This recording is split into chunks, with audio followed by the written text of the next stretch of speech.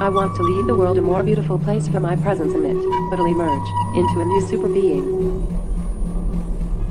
The progression of this thing is starting small and pretty soon it's just gonna be huge and people are gonna say, why did we ever think people had to really die? Why did we think that anytime soon? Immortality is accomplished by creating consciousness in self-replicating machines that can be distributed throughout the cosmos. Better to be approximately right than precisely wrong. I want to live and work with humans, so I need to express emotions to understand humans and build trust with people. How do you know you are human?